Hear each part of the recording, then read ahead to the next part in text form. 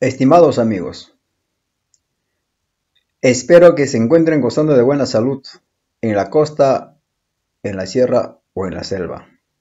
Los vertendinos estamos dispersos en distintos lugares. Hemos dejado nuestro terruño por diferentes motivos.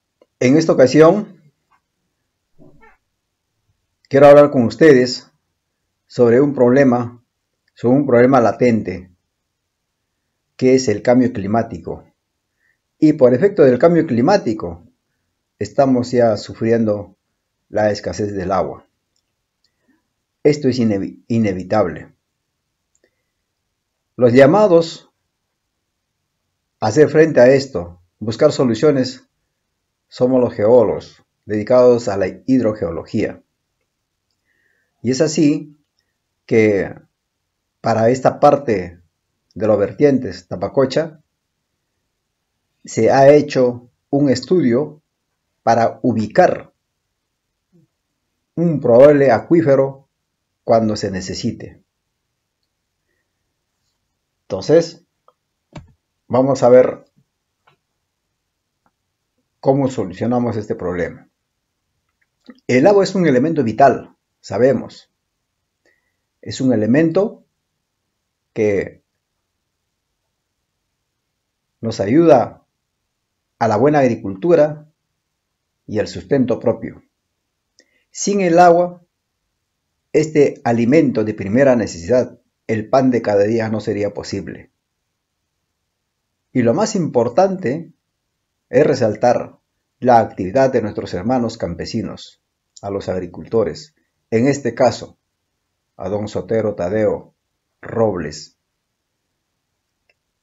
quien practica, a pesar de más de sus 80 años, a la agricultura ancestral. Él siembra de todo, todo lo que produce su chakra. Y se siente feliz porque no le falta ración, no le falta comida.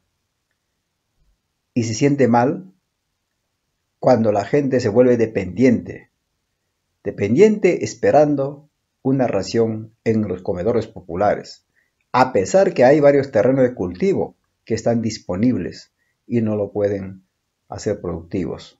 Es que las costumbres están cambiando.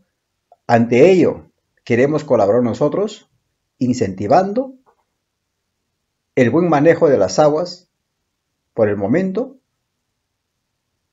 y en la posibilidad de que esto escasee, ¿dónde ubicar?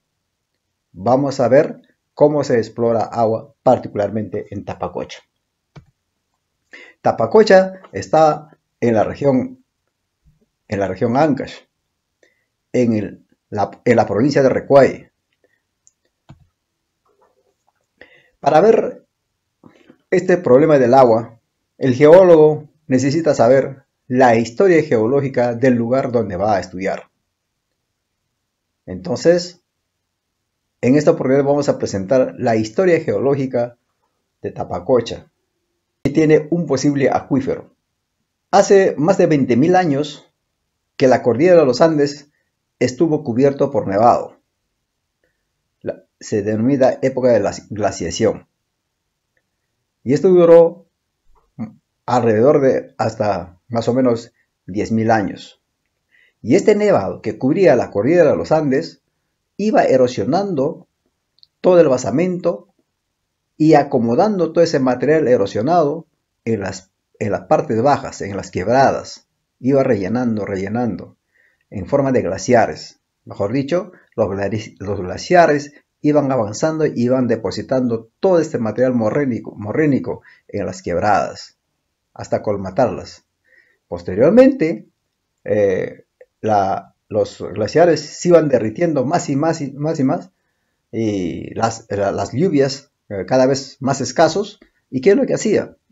Las aguas corrían sobre estos depósitos morrénicos, iba erosionando, haciendo canales, haciendo surcos, haciendo zanjas, ¿no? haciendo nuevas quebradas,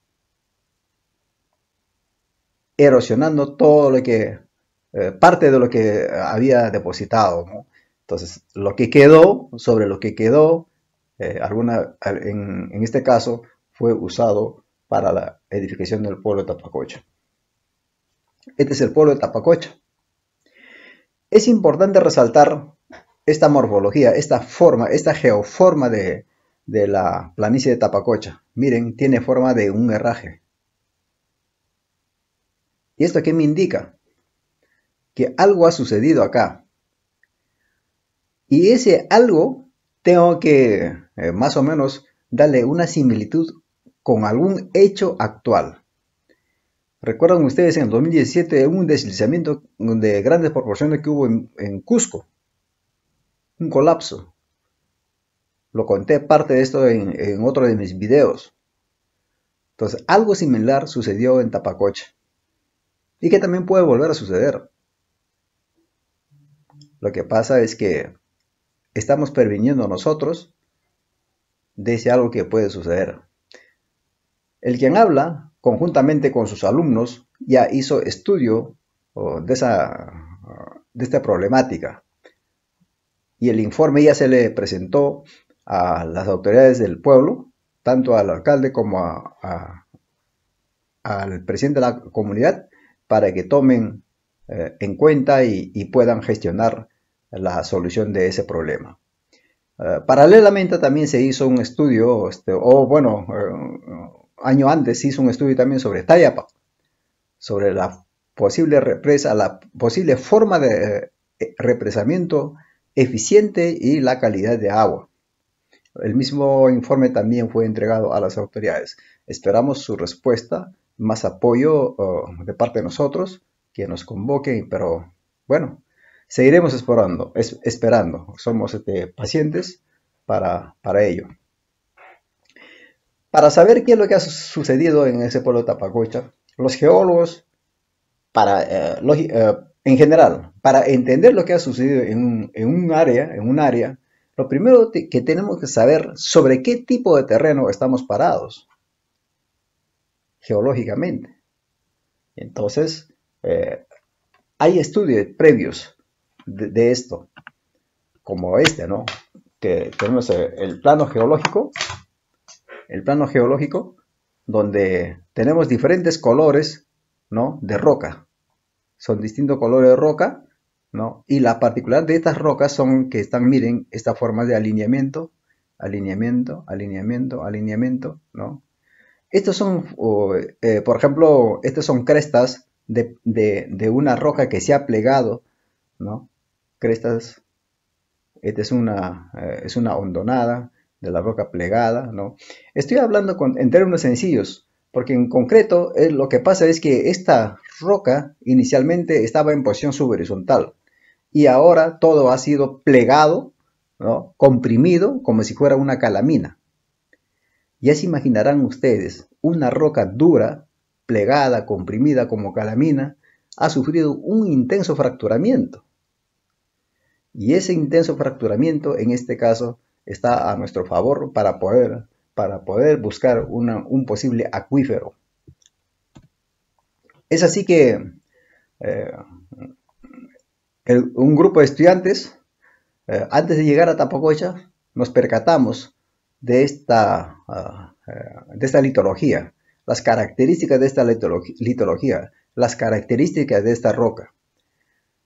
La roca en sí es sedimentaria, pero como verán, no tiene nada de evidencia de que sea sedimentario, más por lo contrario, se presenta muy fracturado, muy fracturado.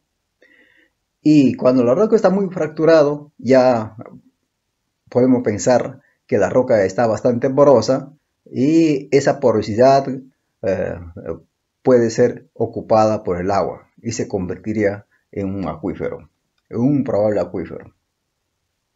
La parte alta de Tapacocha igual, ¿no? Eh, también está en constante erosión, cada vez eh, la erosión es más intensa y, esto se intensifica por la deforestación de las partes altas. Antes por estas partes habían mucha más vegetación. habían plantas arbustíferas como por ejemplo este, la talla, el chancor tal vez, eh, la eh, este, creo que se llaman las otras plantas, y todas ellas. Pero ha sido eh, depredado, ¿no? ¿Por qué? Porque son plantas eh, que secas sirven como combustible. Entonces los pobladores han depredado y han eh, hecho combustible. Ahora cada vez está más pelado y más propenso a la erosión. Entonces esto quiere decir que nos está sugiriendo que debemos eh, ver la, la, reforestación. Pero reforestar pues no con plantas, sino con plantas nativas que sean del lugar, porque otras plantas no son recomendables.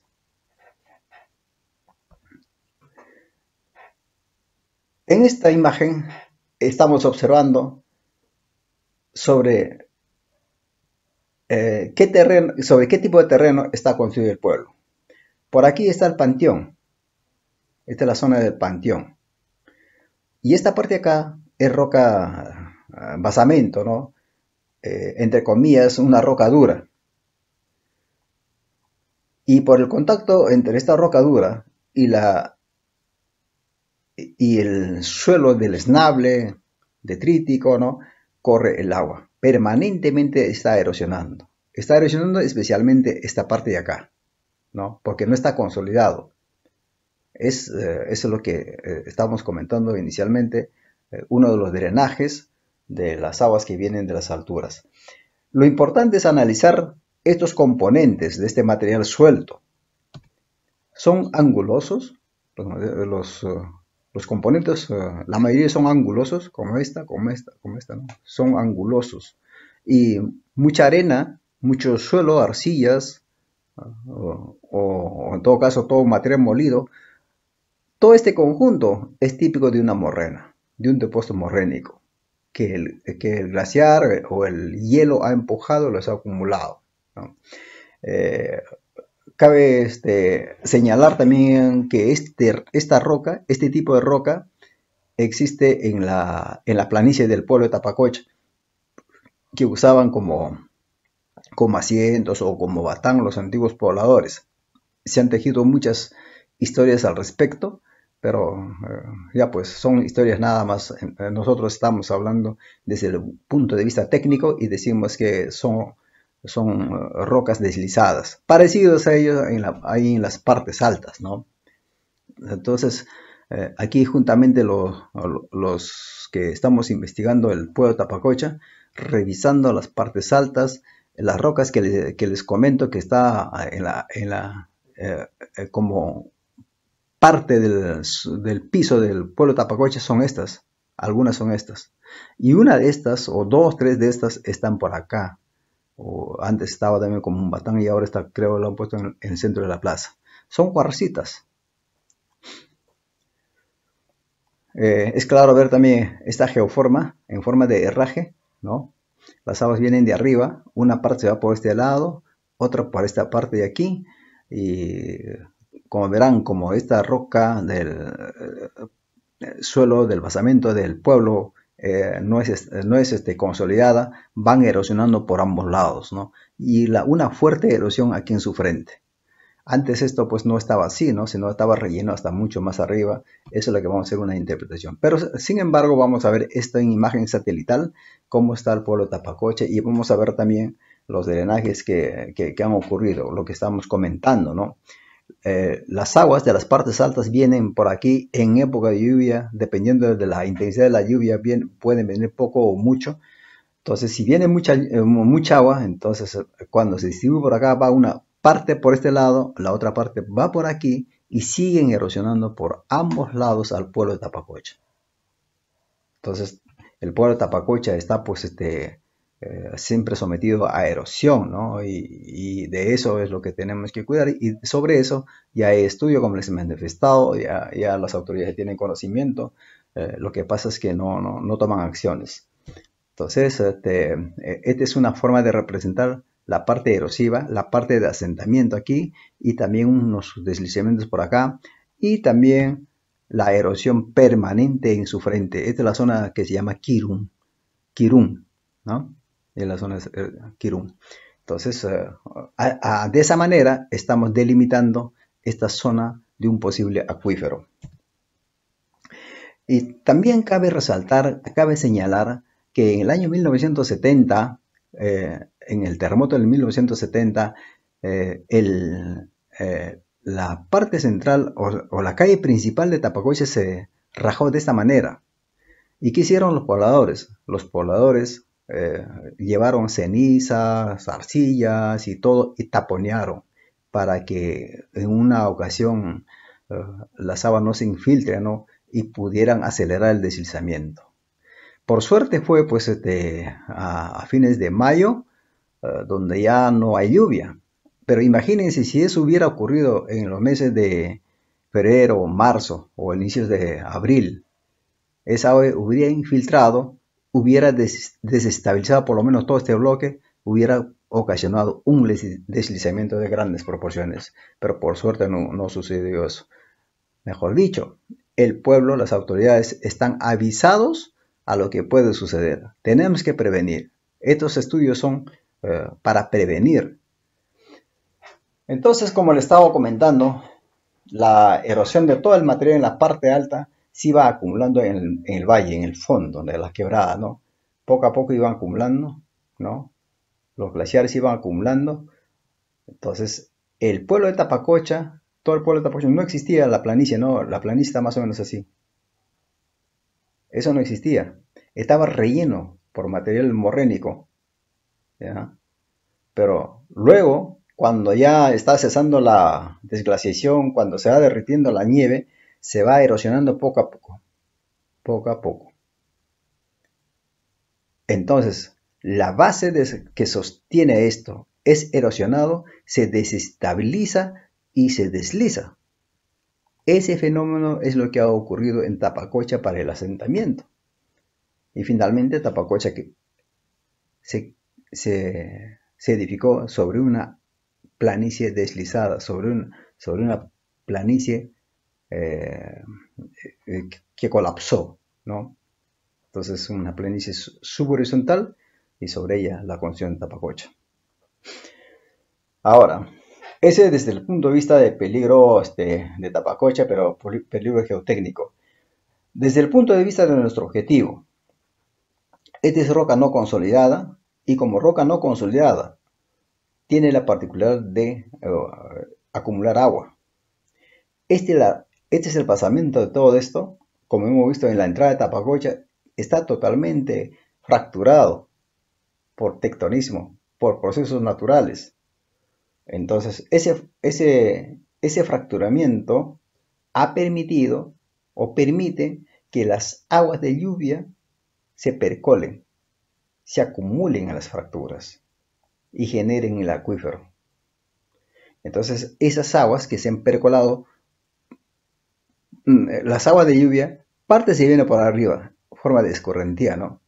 Parte se infiltra y viene por abajo y puede salir aquí, o puede salir aquí, o puede salir más abajo, o puede salir mucho más abajo, o puede salir mucho más abajo, eh, de repente a la altura del río Cotaparaco.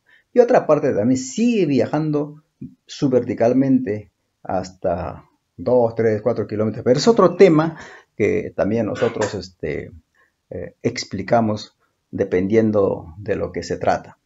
Entonces, con, tenemos una, fuente de agua acá, otra fuente de agua acá que se llama Chuyus y otra fuente de agua acá. Con esa fuente de agua es lo que nosotros podemos más o menos diseñar el nivel de agua que podría haber dentro de este acuífero. Entonces aquí en la superficie no hay agua, pero viene por abajo y sale aquí en Chuyus. De Chuyus sale al agua, nuevamente se infiltra y viaja por abajo. ¿no? Nuevamente vuelve a, aflorar más abajo de Kirún esta parte aquí, ¿no? Esa también viaja un poquito por encima y nuevamente se infiltra y a volver a salir más abajo. O de repente también se va mucho más abajo y puede filtrar más abajo. Eso ya depende, ¿no? del comportamiento del agua dentro del terreno, aprovechando la porosidad y la permeabilidad. Entonces, de esta manera, estamos ubicando un posible acuífero para Tapacocha, una posible solución para, en el futuro para Tapacocha. Y lógicamente, esto se va a mantener a este nivel siempre y cuando la lluvia va a ser permanente. Pero si la lluvia baja, ¿no? Entonces este nivel también va a bajar. Bajar, bajar, bajar. Todo el nivel. Entonces va a haber un momento que se van a sacar estas fuentes de agua. Se van a secar. Entonces eh, eh, va a ser el momento este, problemático bueno, para solucionar ese problema. Por eso estamos alertando y diciendo una posible ubicación de agua, un posible acuífero, ¿no?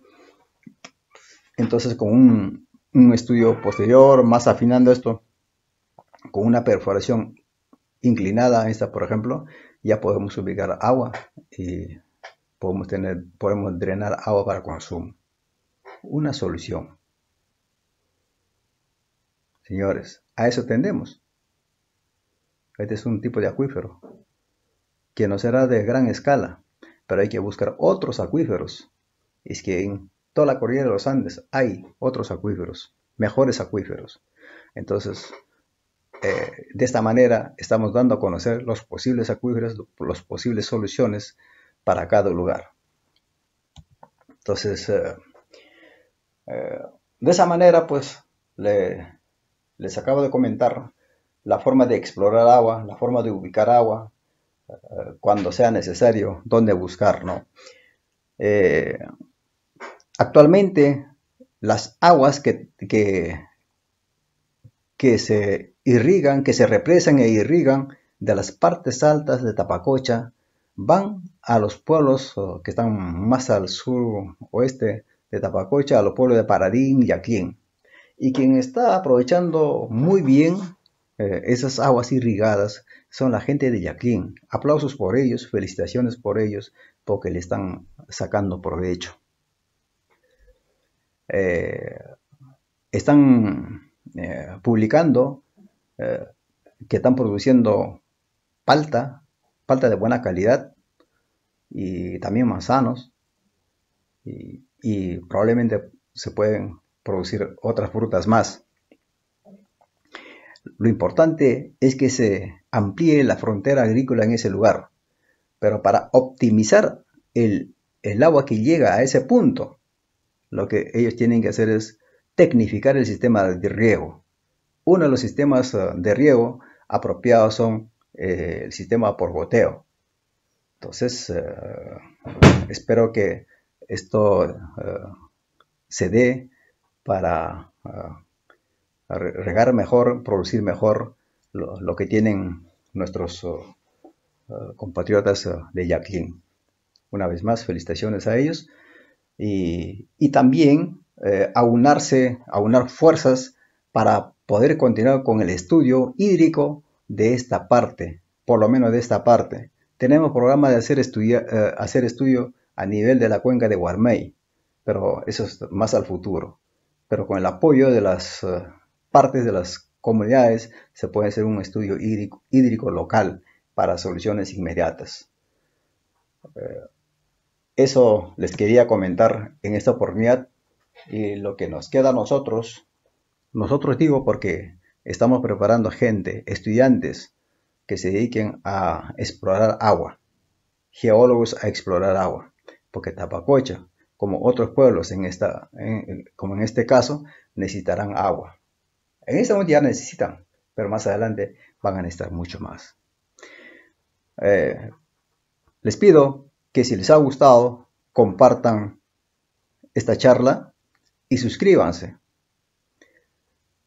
Estoy pensando más adelante hacer una, charla en vivo para darle opción a las personas interesadas y, e, intercambiar ideas, ¿no? Intercambiar ideas, porque en otras charlas que estoy dando han habido buenos aportes que colaboran, pues, ¿no? Este, con otras ideas. Y de eso se trata, ¿no? La investigación debe ser así, compartir, compartir para que el quien tiene otra idea también este, apoye eh, y, y, que estas ideas sean más, eh, eh, tengan más base, ¿no? Más fundamento, porque es mejor trabajar con, muchas ideas y plasmar en una un objetivo, un objetivo común. Muchas gracias una vez más. Hasta pronto.